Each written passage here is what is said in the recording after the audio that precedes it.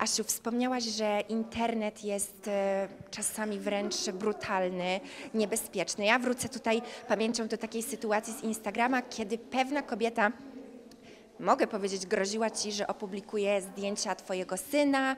Później tam relacja rozwinęła się na Instagramie. E, odniosłaś się też do pewnych e, komentarzy pani Marceli Leszczak. Moje pytanie brzmi, czy Marcela odezwała się do ciebie po tym twoim oświadczeniu? Nie, nigdy się do mnie nie odezwała. Właściwie ja naprawdę rozmawiałam z nią parę razy w życiu i byłam w ciężkim szoku po prostu, jak to zobaczyłam. Nie mam pojęcia, o co tam chodziło, ale prawdę mówiąc, nie chcę już mm, o tym rozmawiać, bo, bo po co. Ale jakbyś ty była w takiej sytuacji, e, to poczułabyś coś takiego wewnętrznie, że musisz jednak się odezwać do tej drugiej kobiety? Tak, bo ja pewnie jakbym coś zrobiła nie tak, to miałabym wyrzuty sumienia. Jestem taką osobą, która e, też jest, jestem emocjonalna, wiesz. Ja jestem osobą emocjonalną, ja popełniam błędy, ale umiem przepraszać, wiesz, i umiem przyznać się do błędu, wydaje mi się. I to jest dobra cecha akurat. I, i jak sprawię komuś przykrość, to przeproszę. Mm, Staram się jednak zrozumieć tę drugą stronę, nie wiem w ogóle po co takie sytuacje tworzyć, bo jesteśmy właśnie na gali wszechmocne i chciałabym, żeby kobiety były dla siebie po prostu milsze, bardziej wyrozumiałe.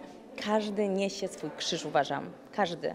I to, że u kogoś życie wygląda kolorowo na Instagramie, nie znaczy, że tak jest. No, nie wiemy, co tam się dzieje. Możemy widzieć coś tam pięknego, a, a tak naprawdę ta osoba jest w ogromnej depresji i cierpi. I musimy być dla siebie po prostu milsi, lepsi. Zwłaszcza kobiety powinny się wspierać. Uważam, że brakuje mi takiej czasami jednak solidarności kobiet. Facet to jednak zawsze z tym facetem się dogada, a kobiety tak muszą sobie też szpilki wbijać.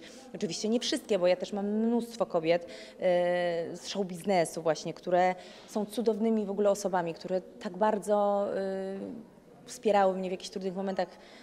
Ania Wędzikowska, Ola Domańska, naprawdę to są takie kobiety cudowne. Do Ewa Minge. Ewa Minge. E, Nie no, tych kobiet jest w ogóle naprawdę sporo E, i to są dobre babki i mnie się to bardzo podoba, że jest ten girls power, wiesz, że dziewczyny ze sobą rozmawiają, wspierają się. Ale też każdy może musi do tego dojrzeć. Wydaje mi się, że wiesz, jeszcze jak jest się młodym, jestem się w głowie, no to może trzeba czasu, żeby dojrzeć do pewnych rzeczy. Ja też na pewno bardzo dojrzałam. Wiesz, też uważam, że ten czas y, w moim życiu zmienił mnie, nauczył pokory i tak naprawdę zmienił mnie na lepsze.